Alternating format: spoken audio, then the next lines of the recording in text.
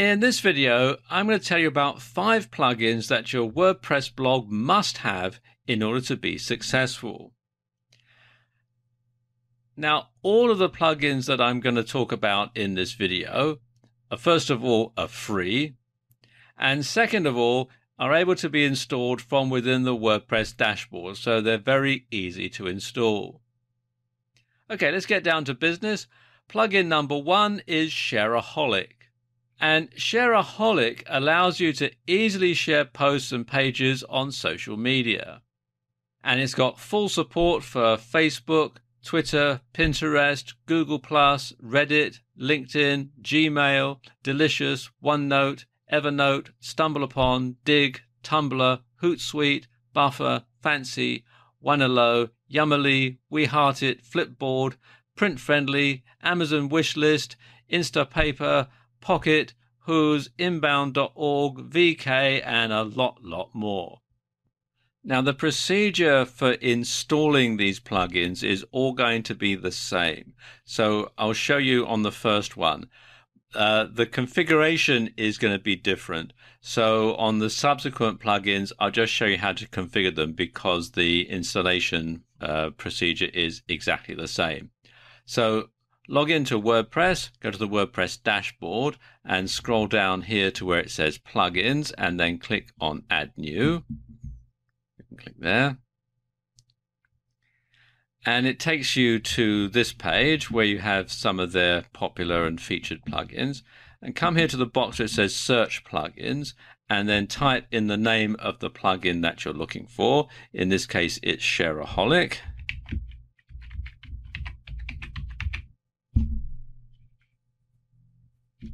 And then enter.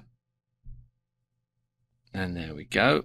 You've got Shareaholic, share buttons, rated posts, social analytics, and more. Quite why it's listed twice, I don't know. But there we are. And you can see it's got over 100,000 active installs. This is the one we want. So click here on install now. And then click here on activate plugin. Okay, it says action required. You've installed Shareaholic for WordPress. We're ready when you are. And click here to get started now. So just click on that button. Opens up this window and you have to click here on get started. And it says by clicking get started, you agree to Shareaholic's terms of service and privacy policy. So we'll click here to get started and you can register and configure to get the additional features uh, with a free Shareaholic account. I'm actually going to skip this for this procedure here, but what we can do is go through the things here like where you can put the related and promoted content, where you want to put the share buttons. Usually you have it below the content on both posts and pages. You can edit the settings here and so on. And you can also monetize it, uh, which includes promoted content, affiliate links, and so on. And we'll click on Save Changes.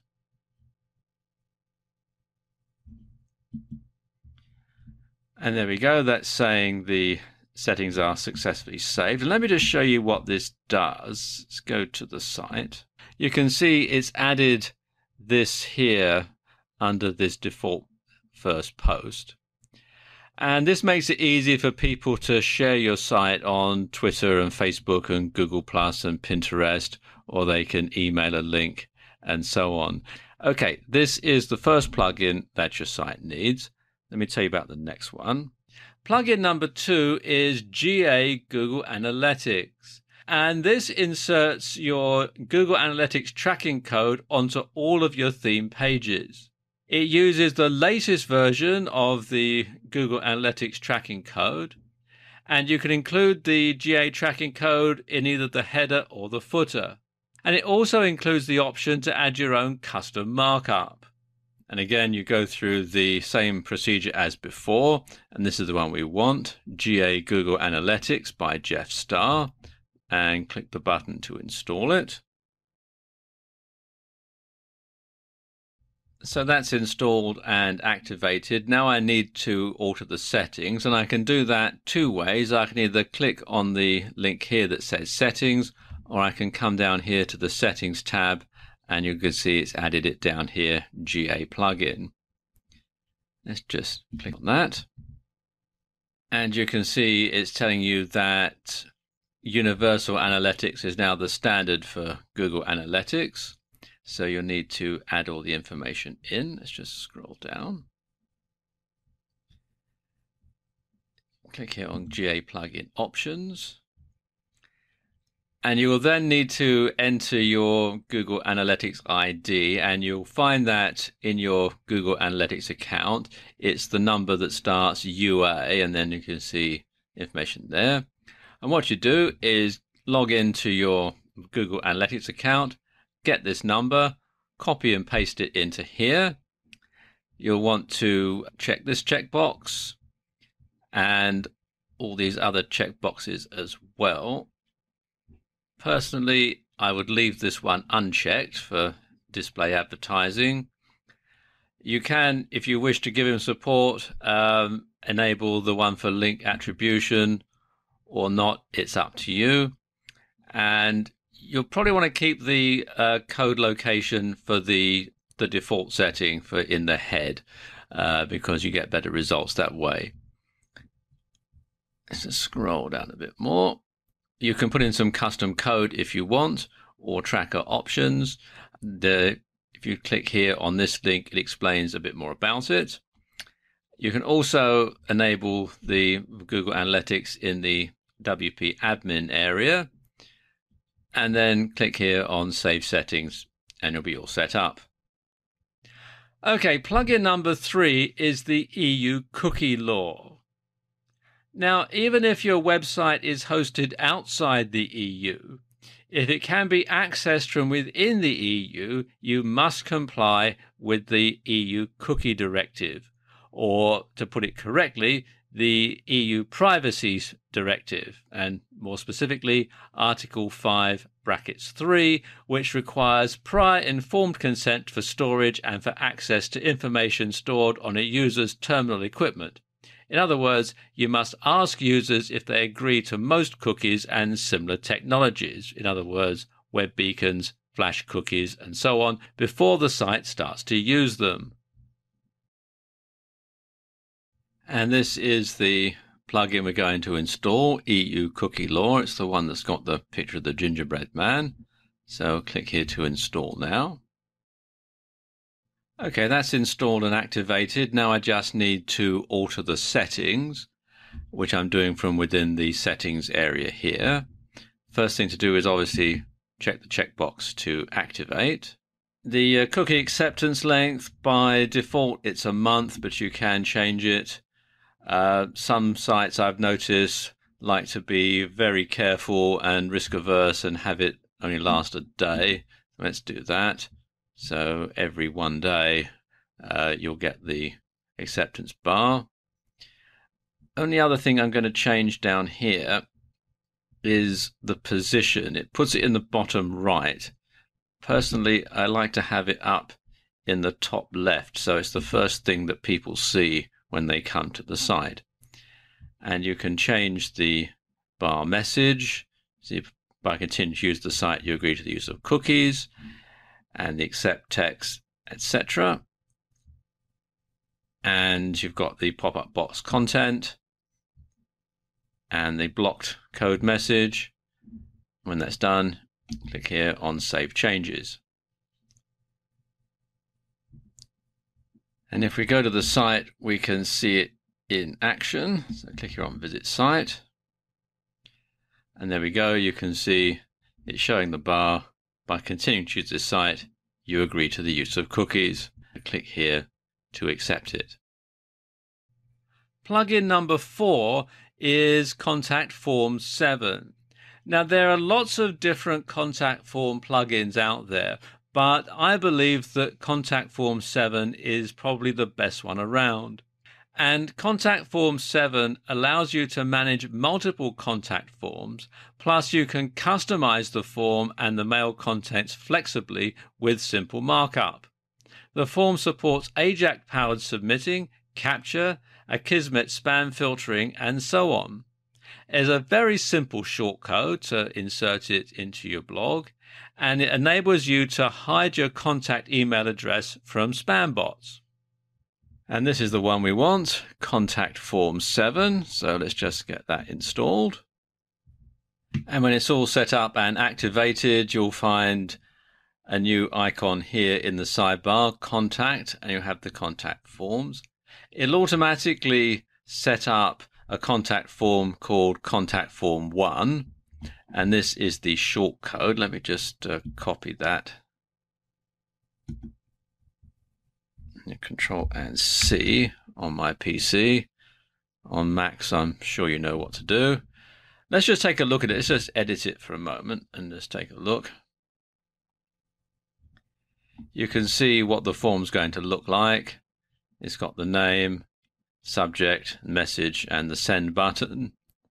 You've also got, look at here, who it's going to be going to. It'll automatically set it up for the default email address, but you can always change this. You can change the from and the subject and so on It's got messages. This is what happens when a message is sent or fails to send. This is what flashes up on the screen. And there are some additional settings as well. You can add uh, customization code snippets in there. And what you can do is you can enter this into either a page if you want to have a contact page, or you can enter it into a text widget if you want to have it in the sidebar and appear on every page.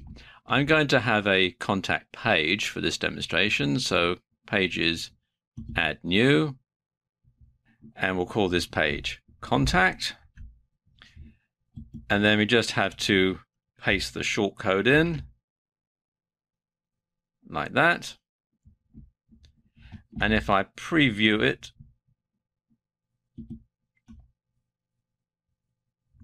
you can see what it looks like. Scroll down a bit. Got all that. Now, one thing you might want not to have on your contact page is this Shareaholic stuff. So let's just go back.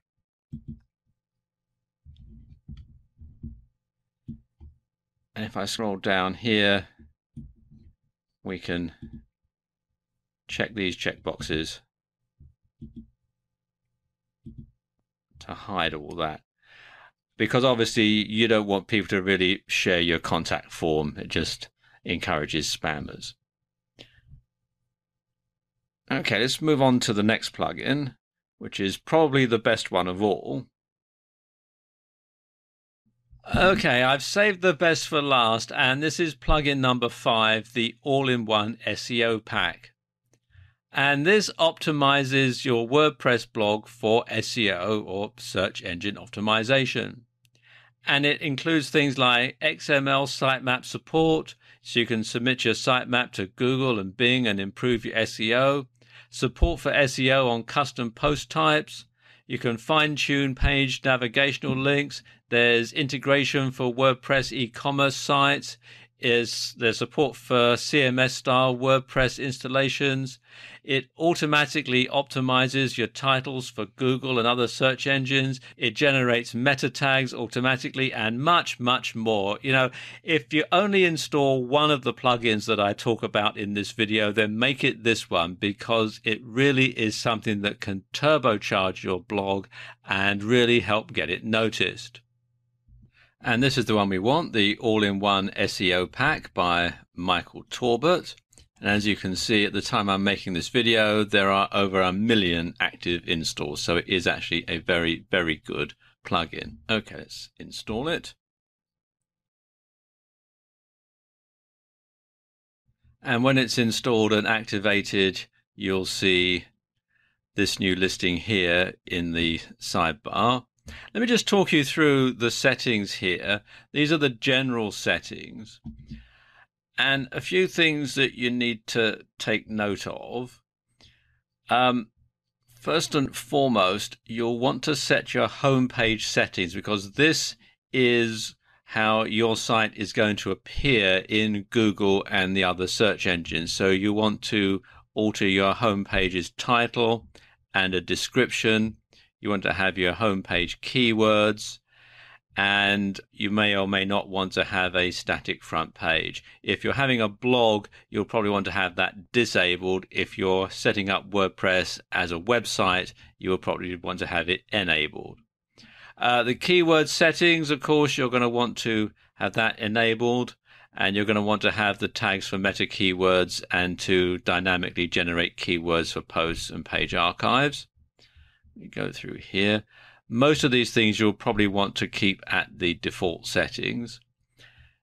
Again, you can format the titles of pages and posts, etc. Now, a couple of other things here. You can integrate verification with Google Webmaster Tools, Bing Webmaster Center, and Pinterest. And again, you simply enter your information in these boxes. Um, you've got your Google Plus profile, which you enter in here, uh, so you can integrate your site with Google Plus. You can also enter your Google Analytics ID in here. Uh, if you're using the plugin that we discussed earlier, the GA Analytics plugin, then personally I would leave this blank because it might cause a bit of a conflict.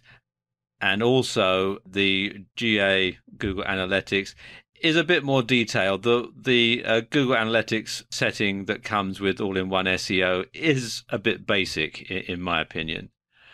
Um, you have the no index settings. Obviously, you don't want things like your categories or date archives to be indexed in Google and other search engines, so you want to keep those set. And go a bit further down here, and you can exclude pages. Let me show you the other one here, the performance. Let's just click on that unless you really know what you're doing, it's best to leave this at the default settings. But you can, if you wish, raise the memory limit and the execution time. And it also, if I scroll down a bit here, gives you some information about your system and so on. Last one to look at is the feature manager. And you can activate various features of the plugin you can generate an XML sitemap. You can activate social media data. Uh, generate a robots.txt file that uh, is very helpful for getting things indexed in Google. You can edit your robots.txt file in your .htaccess file to fine tune your site. You can block bad bots and you can also optimize the performance as well. This comes uh, activated automatically. Now let's just show you how this works in a post. Let's come here to posts and all posts. And let's just edit the default post that comes with WordPress, Hello World. Let's click on edit. You can see all this information here. This is what it would look like in Google and you can alter this. You can alter the title, you can alter the description, you can put in the keywords, custom canonical URL, and also, you know, if it's for things like um, your contact page, you can have the no index and the no follow, and no ODP and so on um, activated so that it doesn't get indexed. If I go back,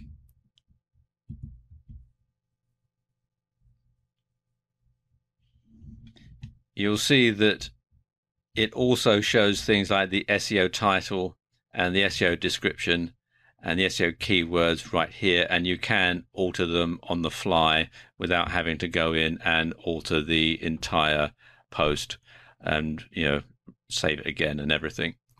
So there you go. I mean, as I was saying earlier, if you only get one of these plugins that I've talked about in this video, then get this one. You know, it's a bit complicated to set up, but once you've done it, it's worth its weight in gold and it really can help you get a lot more traffic to your blog.